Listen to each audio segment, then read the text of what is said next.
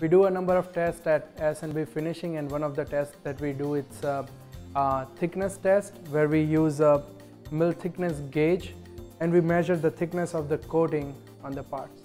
So we use a coating thickness gauge. We measure the coating thickness in mils. Mil is a thousand of an inch. This is the probe of the gauge. We put that on top of the coated surface and this display right here will give you the coating thickness. So I'm going to put this probe on top of the panel. So coating thickness on this particular point is 2.23 mils. Right here it's 3.21. Right here is 3.09.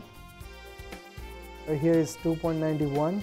The standard powder coating thickness is between 2 to 4 mils, but sometimes customer asks outside that range.